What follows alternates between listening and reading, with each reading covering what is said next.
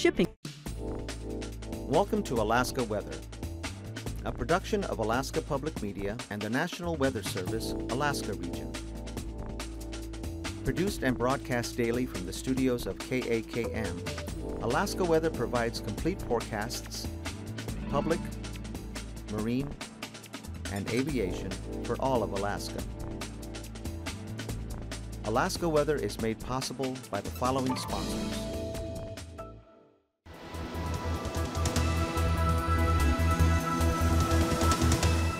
The National Weather Service. Good evening, everyone. I'm meteorologist Dave Snider with the National Weather Service. It's the 7th of November. As always, we encourage you to stay up to date with your local weather service information. You can do that easily by giving us a call on the Alaska Weather Information Line, 1-800-472-0391. Find us online at weather.gov slash Alaska, whether you're looking for aviation information, river information, or your local weather forecast. Simply clicking on the map will get you started. And if you can't find what you need, give me an email, david.snider at noaa.gov is the easy way to find me, and I usually reply as quickly as I can. Here's a take, uh, let's take a look at the warnings, watches, and advisories out for Alaska this evening.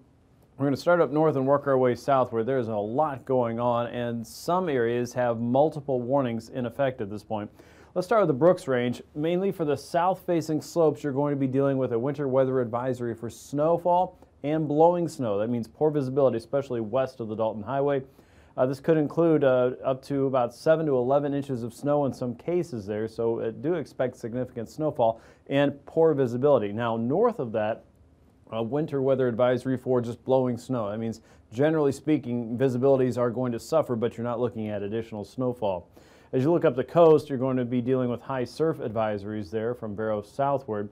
And as you move south of the Brooks Range summits, you're back into snow again. And some of this could be pretty heavy, especially for the Kobuk and Noatak valleys. Uh, we're expecting to see um, anywhere from about four to seven inches of snow in some cases, maybe on the order of 12 to 15 as you get out toward uh, the Kobuk and Noatak valleys, especially the lower Kobuk and Noatak.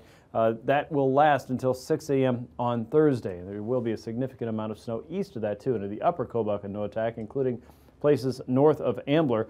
Uh, you should expect to see uh, as much as 15 inches of snow in those regions, uh, 5 to 7 inches in general, but some places in this red shaded area here could see a foot of snow on top of what you already have by the time we wake up on Thursday morning. So there will be more snow here.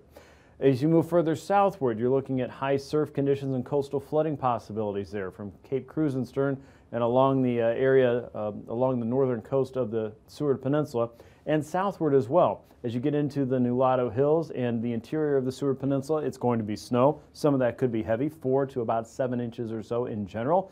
St. Lawrence Island looking at high surf conditions and coastal flooding possible there and all the way down to the Yukon Delta. There will be significant wave run up, and uh, there could be uh, 6 to uh, 13 foot uh, seas just offshore. So, again, there will be some pretty high seas very close to the coast and significant wave run up on top of normal high tide. So, be prepared for a, a push of onshore flow there. And uh, again, a lot of this will start to ramp up as we head into the evening hours and into early tomorrow morning. Uh, many other areas eastward will see winter weather conditions lasting at least until about Thursday morning. So a lot going on for the north and for the west, again with heavy snow, strong winds, wave run up, and perhaps some coastal flooding in there with coastal flood warnings in effect for many areas uh, across the uh, north of the Yukon Delta, the Seward Peninsula, and uh, as you head further northward as well, coastal flood advisories looking northward. So Again, pay attention to your local weather information there and make sure you stay up to date on your latest so you can continue to protect you and your village. Here's a look at the satellite picture, and we have a very sharp edge on the back edge of this uh, latest front. And what that tells us is there's a lot of cold air driving this, uh, moving it eastward. And you can see that uh, uh this is marching eastward fairly quickly, but behind that, another wave of colder air is developing, and this will power a cold front working its way from um, the central Bering Sea eastward.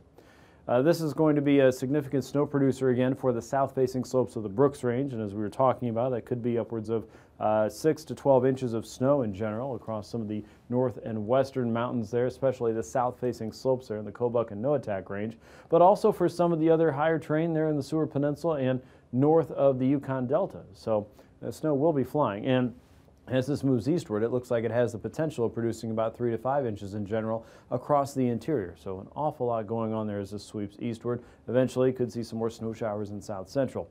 In the meantime, high pressure is pushing uh, low pressure out of the way across southeastern Alaska. Still getting some breezes there, of course, and a little bit of light rain across the southern parts of the panhandle. But this is filling in. This is moving to the south and to the south and east with cold high pressure still in place across south central. Clouds are moving back in from Bristol Bay all the way to Kodiak Island.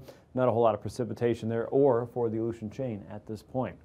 Here's a look at the weather map and low pressure still spiraling there in the southern part of the Gulf at 980 millibars. We have a high in the western parts of Canada, nearly 1,040 millibars, areas of fog around that.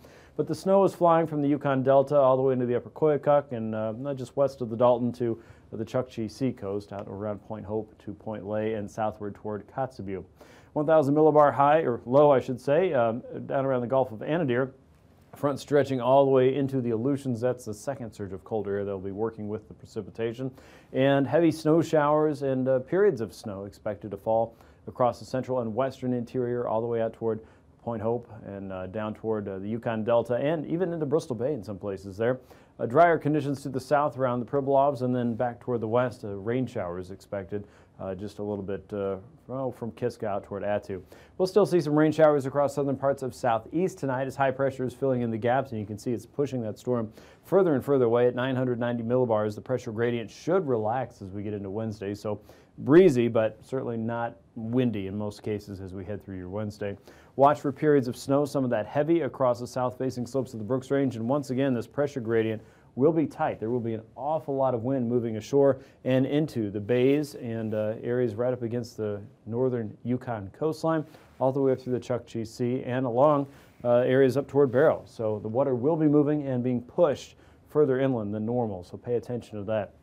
Low pressure sweeping across the Bering Sea will continue moving eastward. As we get into Thursday, maybe latching on to some colder air, creating a, perhaps a brief cold front there. But the important consideration for you is that snow will spread further eastward. And once again, there may be some accumulations by the time we reach the end of the week of about three to five inches or so across the central and eastern interior. That's not a winter storm warning, but it's enough that might slow you down if you're trying to move north or south along the road system.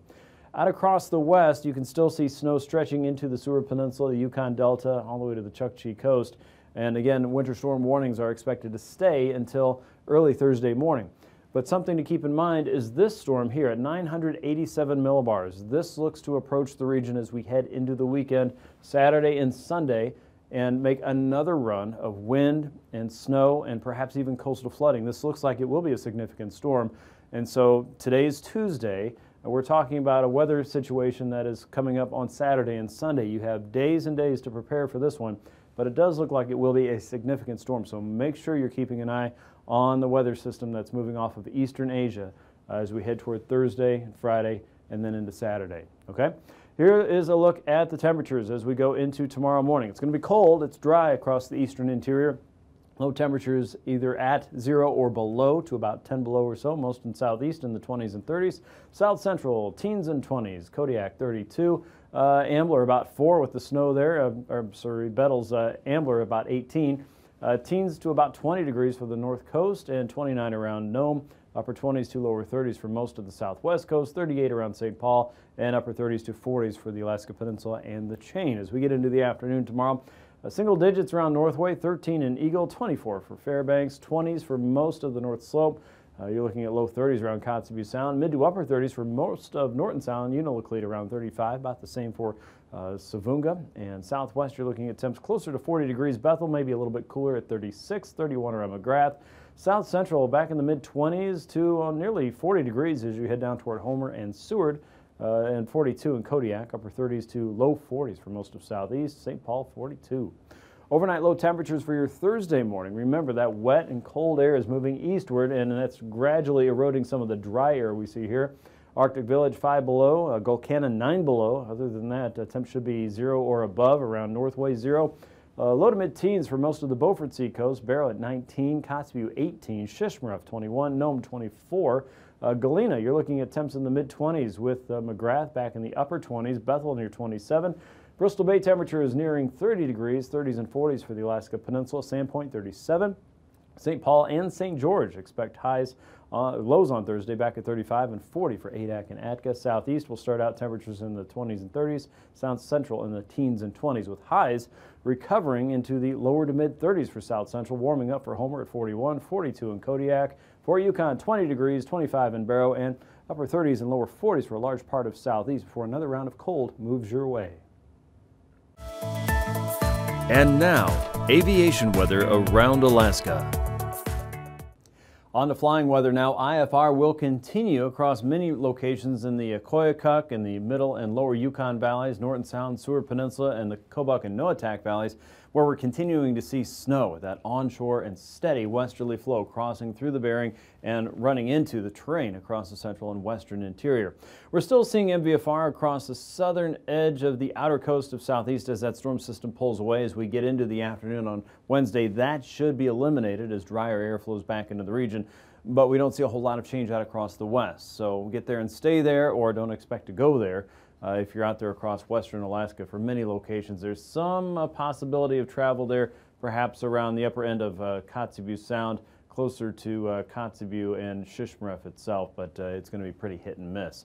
You can see MVFR also spreading eastward and IFR spreading eastward along the north coast as we get into Thursday morning. Some of that does improve, but we're still looking at widespread IFR across the south-facing slopes of the Brooks Range and also spreading into the Tanana Valley in some places and also into Bristol Bay and across the Aleutian Range and the western Alaska Range for your Thursday morning. MVFR continues for many locations out in the west, but some improvement may be noted along the lower and middle Yukon Valley itself.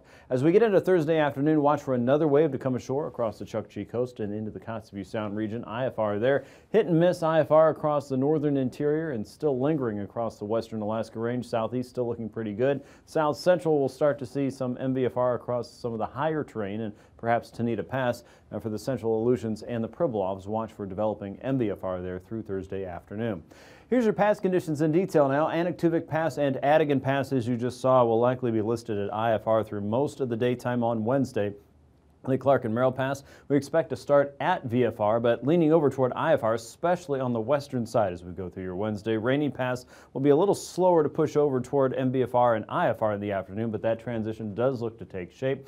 Windy Pass, we expect to see IFR through most of the day. Isabel Pass looking to start at IFR, but then heading over toward MVFR as your afternoon goes on. Mentasta Pass right now still looks to be in the clear for VFR through Wednesday. Tahneta Pass, we expect to lean over toward IFR as the day goes on. Portage Pass right now, VFR. Watch for winds to develop later in the week. And Chilkoot and White Pass at this point looking to be VFR.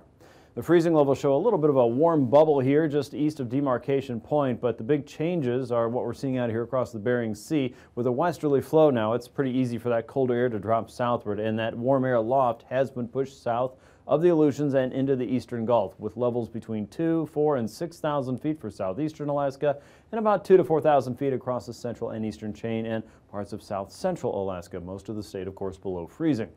Uh, the icing potential, then you can see uh, just a little bit of uh, threat there across the Bering Sea, St. Matthew reaching toward the Pribilofs, and then once it gets into the mainland, the air is really drying out. Uh, the most recent boundary moving ashore has levels around 1 to 4,000 feet or so, and most of that seems to be isolated moderate. We're still dealing with some lingering icing potential across central and southern parts of southeast. That is above 4,000 feet for your Wednesday. A look at the jet stream shows that we've gone from that very high amplitude ridge and trough pattern to something that's at least a little bit more zonal, what we call a west to easterly flow in the weather world. Uh, you'll notice the wind speeds there running from about 90 to 95 knots or so coming in off the Bering. And the stronger Pacific jet stream is a little bit further south, is still wrapping into that low pressure system across the central Gulf, and its strong southerly winds are still reaching into parts of southeastern Alaska. As more of this pattern becomes our predominant flow, we'll continue to see wave after wave coming off the Bering Sea in eastern Asia, producing wind, cold, and snow for many locations. At 9,000 feet then, here is our very broad westerly pattern, 40 to 60 knots coming in across the central and northern Bering and 40 knots up north, you're looking at 20 to 30 knots down south. And for southeast, still under the influence of that eastern Gulf storm with 15 to 20 knots coming off of the higher terrain. At 3,000 feet, again, a very broad westerly flow. This is conducive to a very active pattern again with storm after storm coming through. Wind speeds through the Bering Strait running around 50 knots or so, 50 knots over the Pribilofs and westerlies over the Aleutians 20 to 30 and 25 to 35 knots around the eastern Alaskan interior and wind speeds here across the eastern Gulf still, still being pulled in by that low pressure system up to 45 knots over Haida Gwaii. So turbulence is really going to focus up north as we go through your Wednesday. Watch for areas of considerable moderate across the north slope, around the western Brooks Range, the Seward Peninsula, Kobuk and Noatak valleys, the northern Yukon Delta, St. Lawrence Island, and areas in the eastern Brooks Range, most of that below 4 and 6,000 feet. We'll be back with a look at your marine weather in just a moment.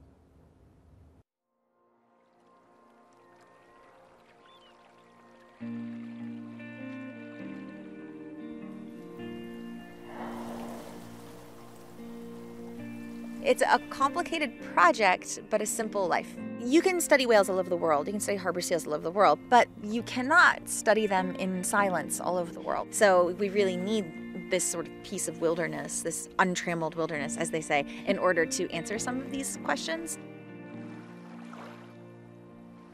So we've been monitoring underwater sound here in Glacier Bay since May of 2000. And the reason why we're doing that is to understand what the park is like from the perspective of a marine mammal, because marine mammals are very dependent on the natural sound environment. If you sort of bring it back to humans, humans respond to noise in very stereotypical ways, and uh, other mammals do the same thing. So, you know, if you go to a concert with your buddy and the music's really loud, you're going to talk at a higher pitch you're going to talk louder and you might have to repeat yourself. And marine mammals do the same thing if it gets noisy. So we're seeing, you know, just which of those three that they actually do. We're here on Strawberry Island for the entire summer. We sample 8 to 12 hours a day. There'll be two people who are on our beach station doing scans, marking each whale in the area, two people who are doing focal follows from our tower, which is a temporary tower that we have set up here on Strawberry Island, and then we have two people who are in the kayak who are doing fine scale acoustic sampling for harbor seals. Got a harbor seal at 23 meters. Got it? What's her bearing? Bearing is 58222121. Being able to pair what an animal is saying with where the animal is saying it is is an amazing data set. It's a hard data set to get. It takes a lot of work, but it can answer so many questions. So our cruise ship right here in the background is right on time today. We have a blissful hour and a half before the cruise ship gets here where we can watch our whales in silence. And then our ship comes in, bringing with it the noise that it brings, and we watch our whales while the ship's here to see whether or not their behavior is changing.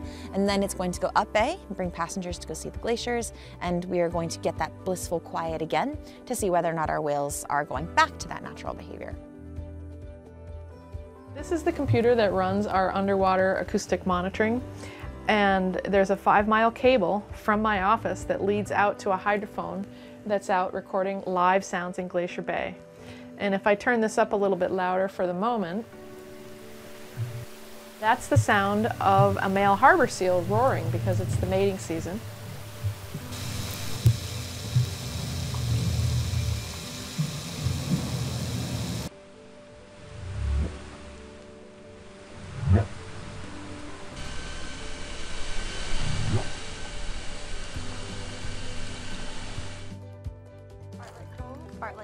Strawberry Island. Building a good field team and building some good camaraderie is really important. We have sort of these daily routines of things that we do together. So there's a schedule that we check every morning, who's gonna cook lunch that day, who's gonna cook dinner. And then every day we take a group photo And then every day we do a daily check in. We talk mm-hmm. about what worked that day, what didn't work that day, and what we learned either from the island or from each other over the course of the day.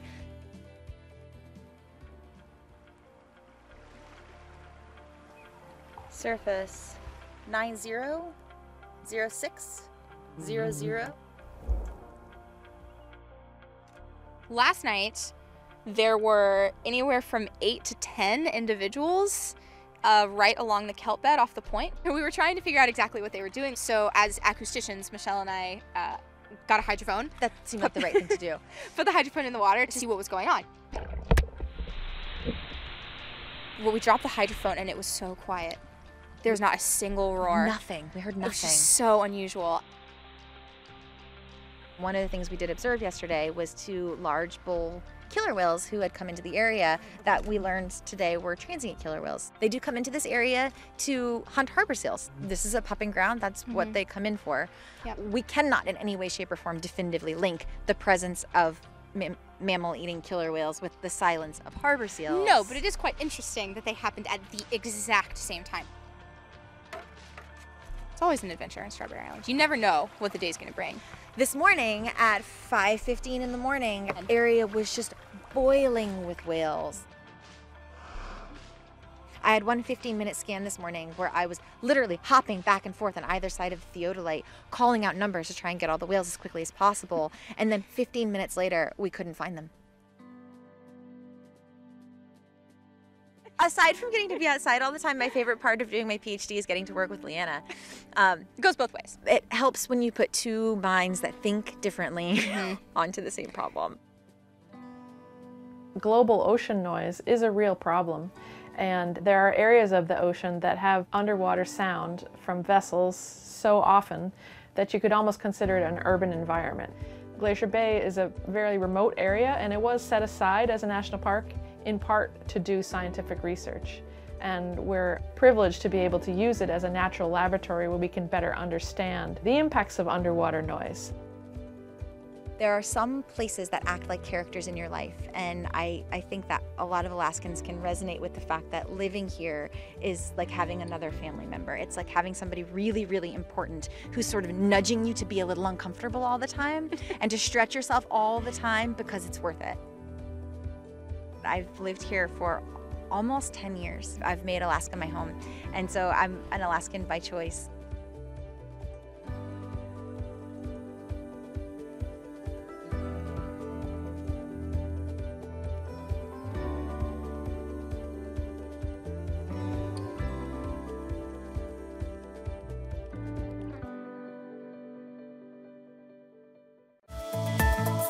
And now, marine weather around Alaska. Time for a quick check of your sea ice conditions. Ice is filling in now across the Beaufort Sea coast from the east to the central coastline. We saw a larger area of open water yesterday. That is filling in very quickly with a very thin sheen of ice, and that process should continue. One thing that's going to hold it back across the west, though, is the strong winds from the south across the Chukchi Sea and the Kotzebue Sound region, but do expect some growth once those winds settle down. You can keep tabs on the latest sea ice conditions at weather.gov slash anchorage slash ice. On to southeast now. Gusty conditions will start to improve as we get into the rest of the week. Uh, One place that may not see rapid improvement, though, will be up around the Northern Canal and Skagway. Northerlies there with five foot seas expected, north and easterlies down the rest of the central and southern inner channels.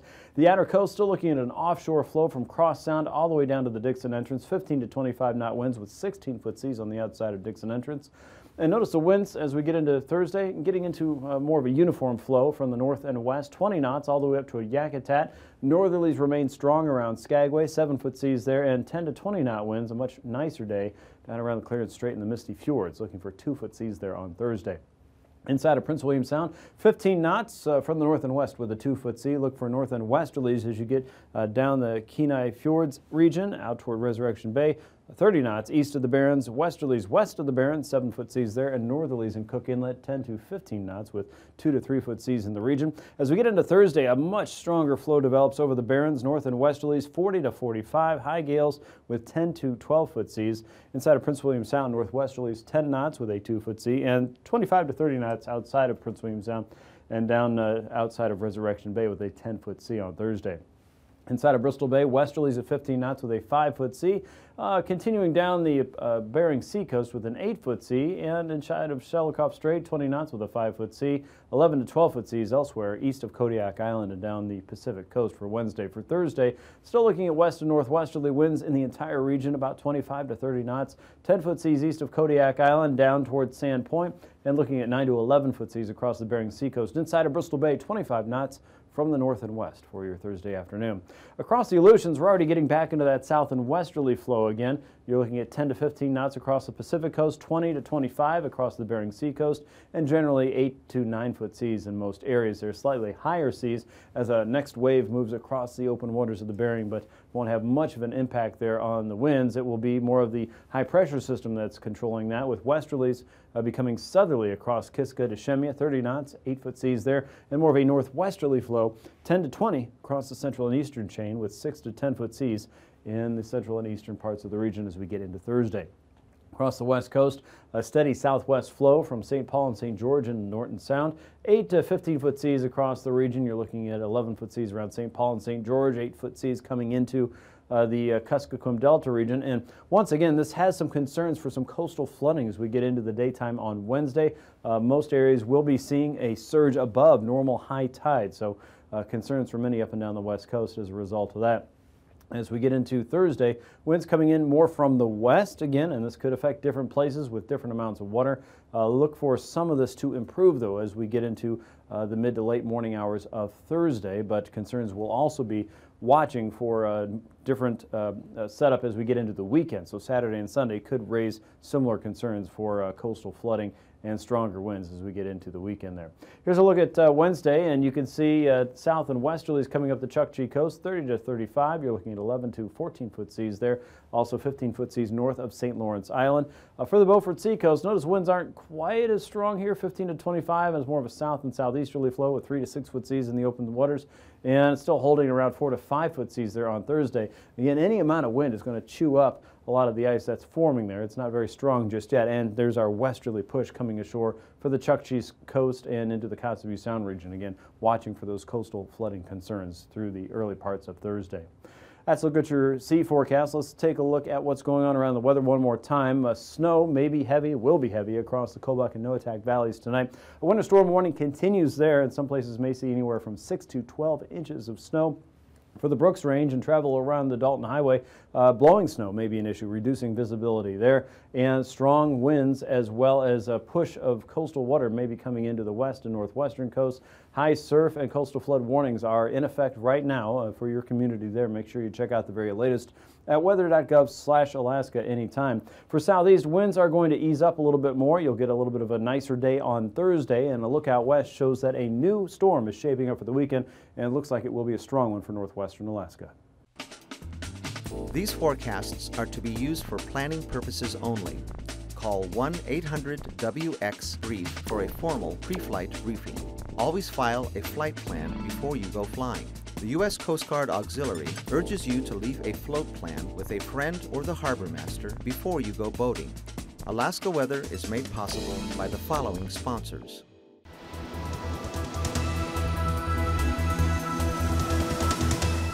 The National Weather Service.